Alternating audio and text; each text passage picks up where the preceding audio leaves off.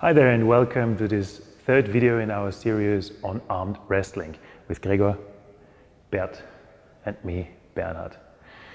Uh, in the, last, in the last video we showed you how to set up your opponent for wrestling and how to close the distance. In this video we're going to take it a step further and show you a proper wrestling technique. Let's get started. We're going to use the same setup as in the last video. Bert starts with an Oberhau,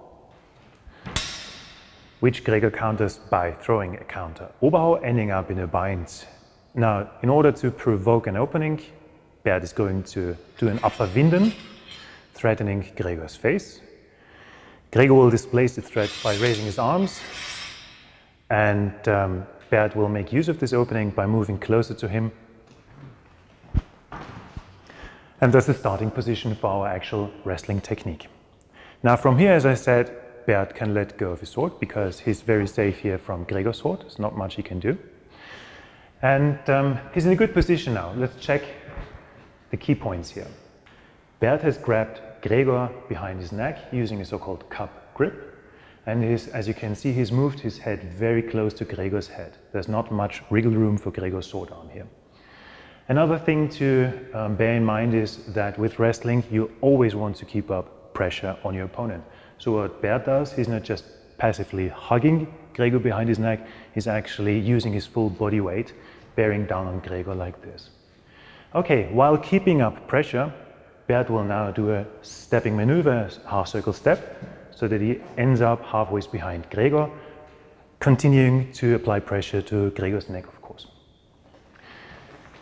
Now, it's easy to Bert, uh, it's easy for Bert to grind Gregor down to the floor um, by continuing to put pressure on Gregor's neck and back and using his legs to actively produce even more leverage and pressure. Now if you want to stay on the real safe side, you can actually grab your opponent's sword arm or its sword or the sword itself for more control. And now you basically are free to keep up this pressure and drain him of his stamina, which could be very effective in a tournament, for example. Or if punching is allowed, you could even do that. Okay? Let's check out another scenario. What happens if Gregor, when he realizes that Bert is trying to grind him down by his neck, uh, tries to resist by rightening his upper body and straightening his neck like this? Well, that's actually another opening right there.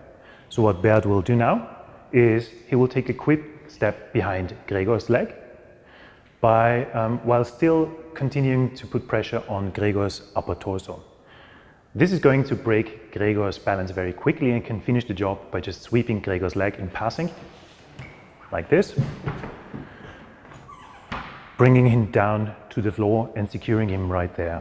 If you want to be very thorough, you could finish the job with a side choke. We're not going to go into detail on side chokes here, so just check out the numerous uh, tutorials on YouTube. Jiu-Jitsu, for example, has to offer a lot uh, in terms of chokes. So that's it for today. Let's see this once more, please, in one fluid motion.